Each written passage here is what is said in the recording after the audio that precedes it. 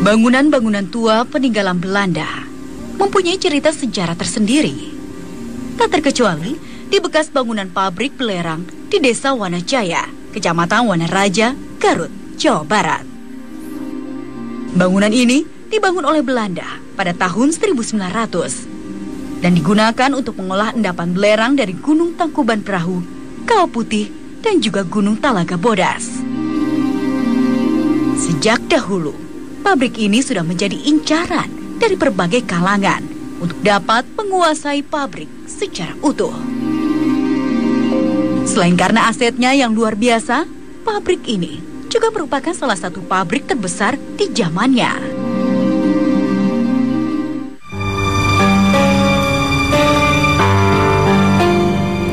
Ini saya sudah berada di alun-alun kota Garut yang berjarak sekitar 16 km dari bekas pabrik belerang yang menjadi tempat penelusuran saya kali ini. Pabrik ini merupakan salah satu peninggalan kolonial yang begitu banyak menyimpan aura mistis akibat banyak korban jiwa yang tewas di masa lalu. Bagaimana cerita selengkapnya?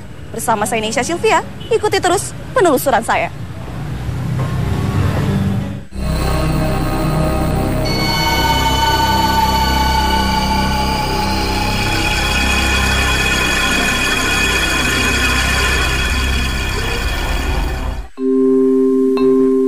Pabrik belerang tua ini sudah tak lagi aktif sejak enam tahun yang lalu. Kondisinya yang tak terawat membuat tempat ini terlihat semakin angker. Saat pabrik ini masih beroperasi, gangguan gaib kerap terjadi di tempat ini. Banyak dari karyawan pabrik yang tidak kerasan karena mengalami banyak gangguan. Selain gangguan, mitos pun juga tersebar di telinga warga Salah satunya adalah adanya harta karun yang terpendam di bekas pabrik ini.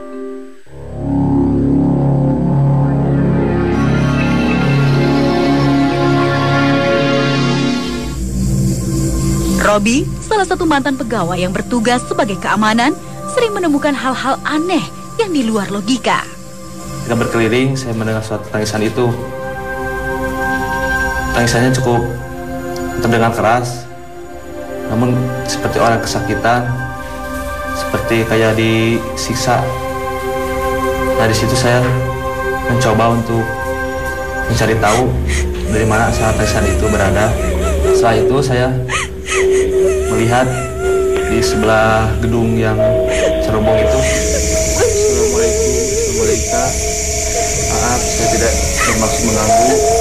Saya cuma melaksanakan tugas saja. Saya di situ kembali lagi kepada Yang Maha Kuasa.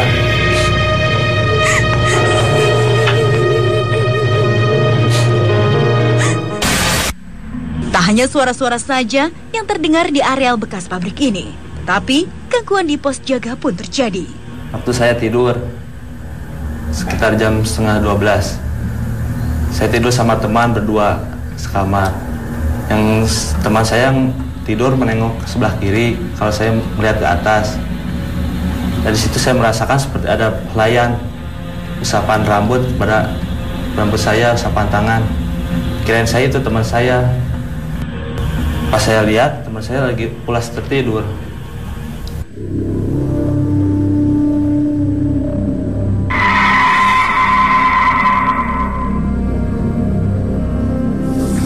Bah, bah, bah.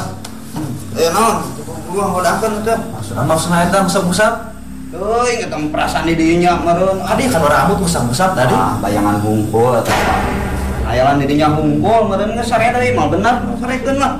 Kayak gantinya. Heeh, oke. Ngobrol mah lah kene itu sajam deui, Bro. Sare.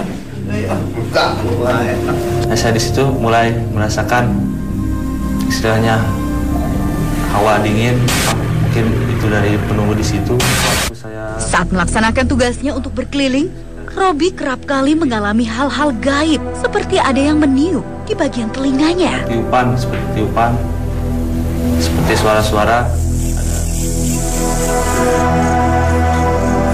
ada suara orang nangis orang seperti kesakitan Terkadang, gangguan makhluk di tempat ini juga hendak sampai mencelakakan. ke belakang mau, cari angin di situ kirain saya kayak dilempar gitu kayak dijorokin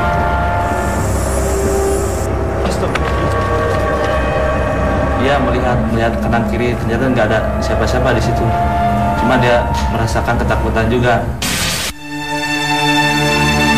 Kini saya penasaran terhadap sejarah dari bangunan ini.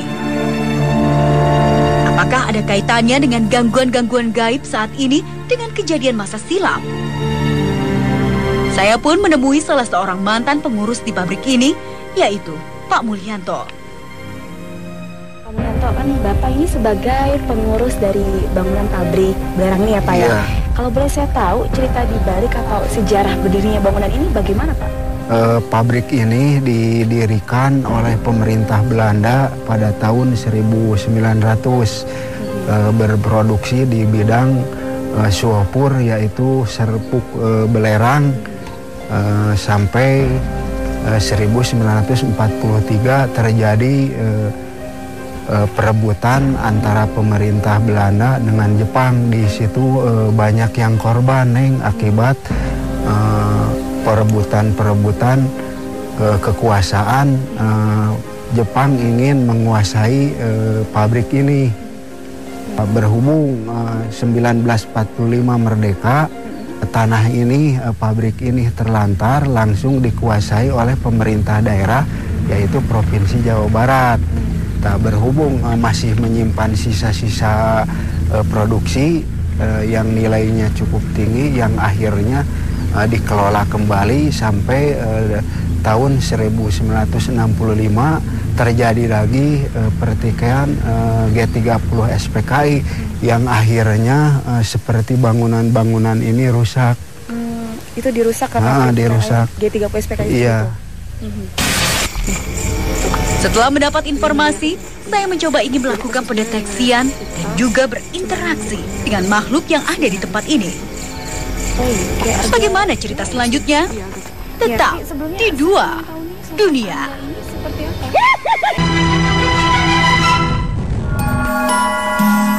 Mendengar ragam gangguan gaib di bekas pabrik belerang ini membuat saya merasa tertantang untuk membuktikan keberadaan makhluk lain di tempat ini.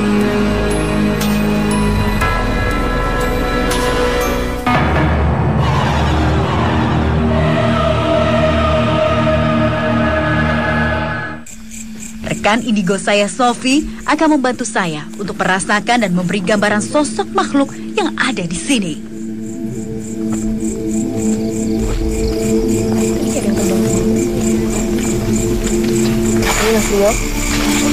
Kayak Untuk dapat memvisualisasikannya, saya ditemani Rio, seseorang yang ahli di bidang sketsa. Tadi sih dia itu yang di pintu yang itu ya. yang tadi ada Tapi kayak ya, kayak gitu ya. Mm-mm.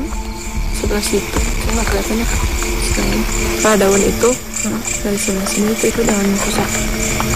Di sini sosok wanita ya. Tuh. Lagi ngeliat gitu ya? Iya. Jadi posisinya lagi ngeliat ke kita.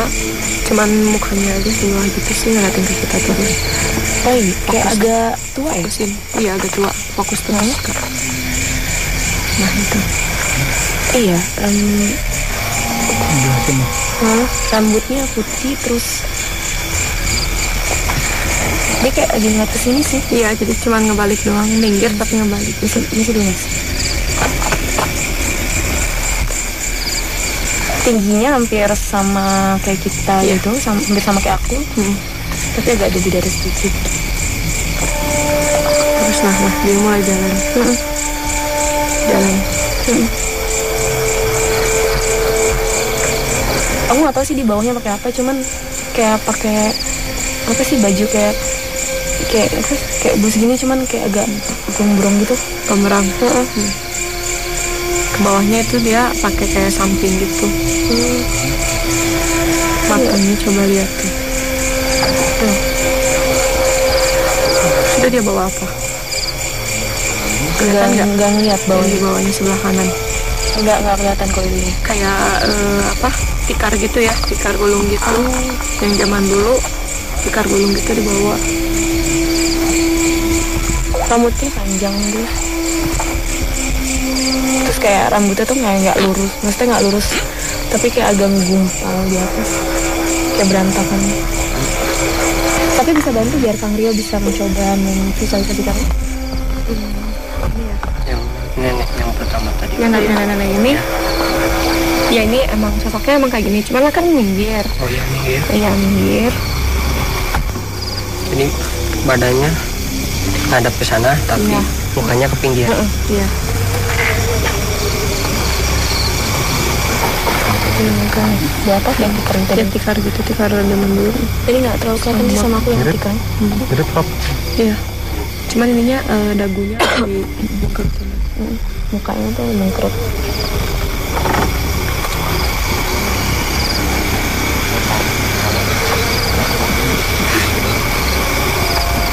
Tapi kita mungkin akan coba lagi ya untuk berinteraksi atau bisa melihat makhluk-makhluk yang ada di sini. Iya, di sebelah mana Sof? Yang tadi aja yang di sebelah situ kan ada dekat wanita tadi. Saya dan Sofi mencoba mendeskripsikan makhluk ini kepada Mas Rio agar dapat divisualisasikan. Di pinggirnya ya? Coba fokus. Sebelah sini. Sebelah sini kan? Iya. Kalau itu sih aku ngeliat di sini tuh yang yang tadi yang ada sosok yang di pinggir nenek ini, aku ngeliat di situ eh, ada kayak yang bertaring, jadi kayak badannya tuh berlumut gitu, berlumut. Cuman eh, rambutnya tuh emang panjang banget, panjang bangetnya tuh sampai ngelilingin pohon ini, panjangnya rambut panjangnya itunya. Tapi mau sosok makhluknya nggak tahu sih ini apa. Belum jelas. iya baru baru ngeliat juga sosok makhluk yang kayak gini. Taring bertaring bertaringnya tuh panjang juga. Matanya merah cuman emang ber apa berkumis gitu berkumis tipis. Ini gimana? Sosoknya? Kalau mukanya sih. Taring. Iya bertaring sampai segini mas. Apa namanya? sedada mukanya gimana pak? Kalau muka nggak apa hampir sama kayak ini. Iya jadi lumut berlumut, gitu. gitu kayak apa nggak jelas Matanya itu loh mukanya. Kenapa? Matanya? Matanya tajam banget merah bulat banget matanya ini depan bibirnya juga agak mangap agak mangap nih agak gede gitu. Jadi dia tadi lagi gini ya?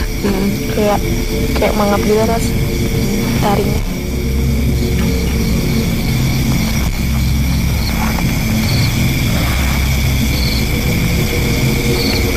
gimana?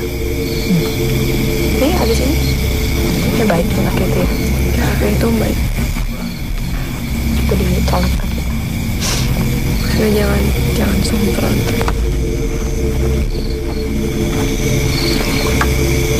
Nah Sofi, Kalia ini tadi hasil visualisasi dari apa yang kita coba lihat yeah. sama Bang Kenzi dan memang kurang lebih sih seperti ini ya dari postur tubuhnya juga. Ini masuk kategori jin atau gimana sih? Ini lebih ke siluman. Siluman. Iya. Hmm.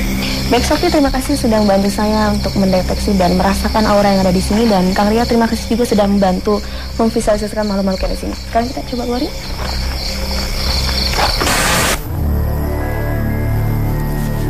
Setelah mencoba mendeteksi makhluk-makhluk yang ada di tempat ini, saatnya saya dan Kang Aar melakukan mediumisasi. Banyak informasi yang ingin saya dapatkan dari tempat ini.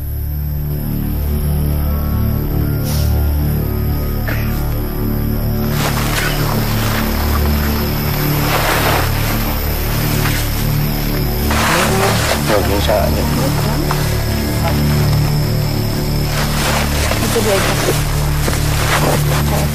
Makhluk ini sangat susah sekali untuk diajak berkomunikasi.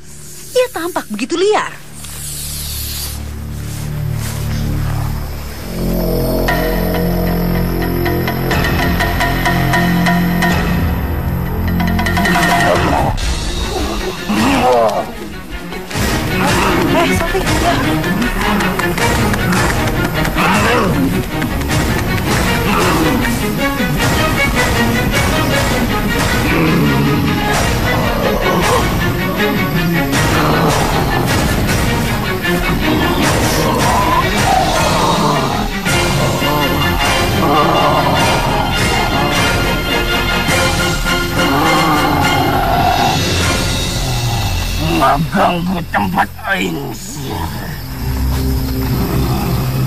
Siapa yang masuk ke tubuh ini?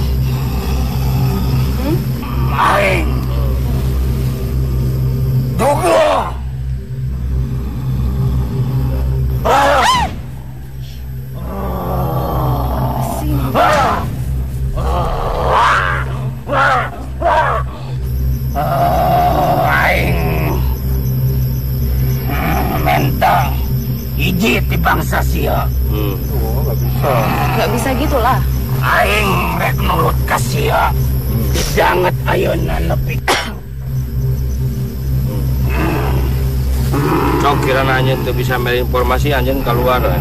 Hmm?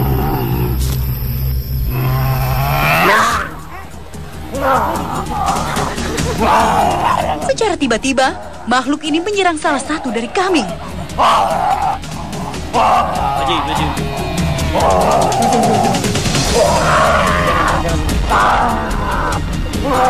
Tadi ketika saya nanya eh, dengan cara apa makhluk ini memangsa korban, lalu makhluk ini menyerang salah satu dari tim dua dunia sendiri. Takut membahayakan, akhirnya makhluk ini disadarkan Kang Aar. Karena masih kurangnya informasi yang kami dapatkan, mediumisasi berlanjut lagi.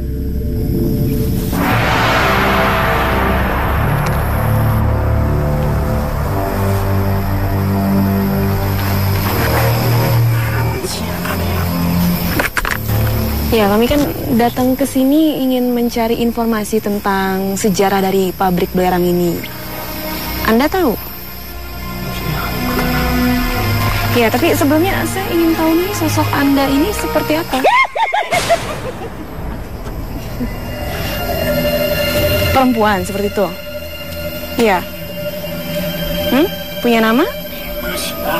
Anda penunggu dari yang sebelah mana? Perlahan, Di dalam pabrik. makhluk ini mau bercerita kepada kami. Dari pabrik ini dibangun atau bagaimana? Lalu katanya di tempat pabrik ini dulunya sering terjadi gangguan-gangguan aktivitas dari makhluk-makhluk subang sanda. Benar? Yang kakak aing sia. Dia mau merasa aing. Saya kaget, bukan takut. Dulu katanya di sini juga ada semacam pertikaian. Itu ceritanya bagaimana sih? Memang benar atau gimana? Kenapa bisa terjadi hal seperti itu? Dalam. Celaka gimana maksudnya?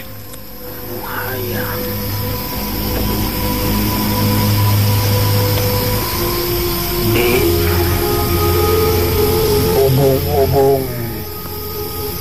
hayang boga kekawasan. Itu yang bertikai antar mana? Di Apa tuh? bangsa. Maneh Mhm. anu dianiaya. Ku bangsa dengan Dengan apa? di bangsa dari luar Mhm. Lalu satu lagi?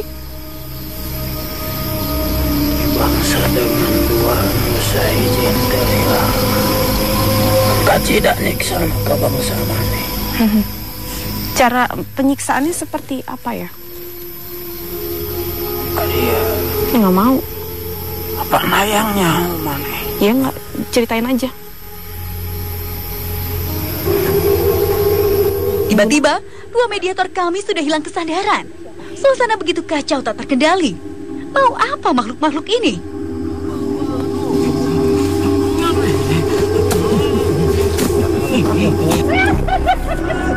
Dapatkah Kang Aar menenangkan makhluk-makhluk ini? Jangan ke mana-mana, tetap di dua dunia.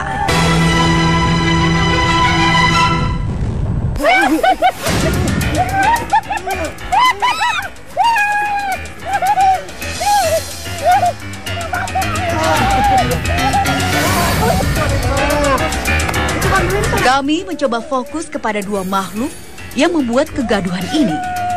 Satu mediator coba dikembalikan kesadarannya. Ya.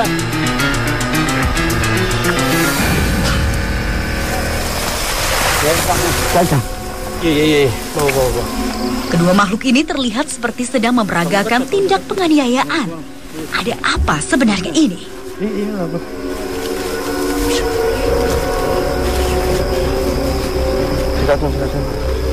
getih.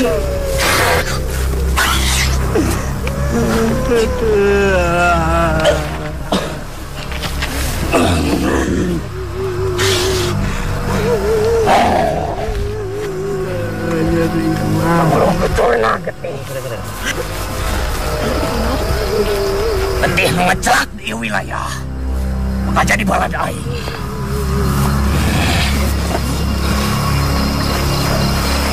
Setelah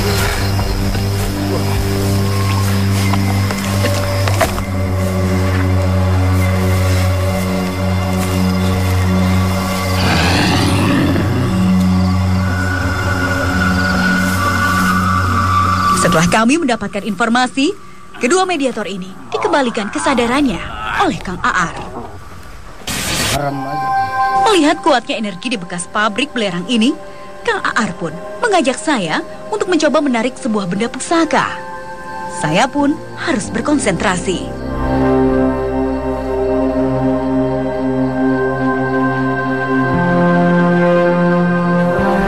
Tiba-tiba, ada satu mediator yang begitu tak terkendali. Ia langsung masuk ke dalam kolam kecil di depan saya. Dia ingin sama kamu itu ambil. Ambil. Enggak ambil aja. Ambil. Coklat paji. Paji coklat. Ikan dekat. Awas awas paji awas. Nggak sari sangka nggak apa-apa. Nggak apa-apa. Yang ini apa? Iya ambil aja. Awas awas tong tong tong tong ya, tong terus. Enggak antap antap. Nesa bin siapa binti siapa Nesa? Bapak.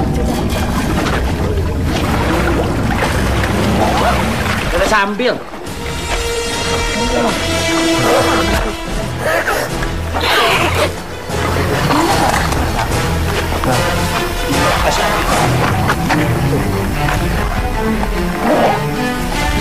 Setelah diperhatikan, ada sesuatu terselip di antara mulut mediator ini. Benda apakah itu?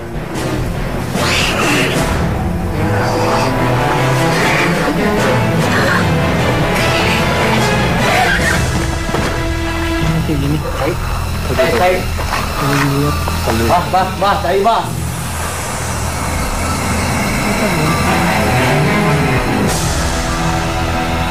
Karena alhamdulillah tadi kita ketika mencoba melakukan penarikan benda pusaka yang dibantu oleh mediator, akhirnya kita mendapatkan salah satu benda pusaka yang berada di pabrik ini ya. Ini sebenarnya benda apa sih Kang? Ini memang kalau sepintas saya, saya lihat seperti taring gitu, Iya, seperti kayak gigi taring. taring. Heeh. Gitu. Tapi ya, ini memang milik siapa Kang? ya itu kalau alam gitu ya. Yang mana memang tadi eh, kita coba mediasi di sini dan eh, Mbak Nesa pun juga yang melakukannya sebagaimana tadi arah-arah petunjuk yang didapat sama Nesa sendiri. Itu. Dengan terus kita pembelajaran ke fokus gitu gitu kan itu atau ke tingkat kehusuan insya Allah lah. nanti kita bisa dibukakan pintu daripada eh, tabir kegaiban insya Allah Gitu. Ini mau dicoba dibalikan lagi atau gimana? ya silakan mau dibalikan balikan lagi Gimana? nggak apa-apa coba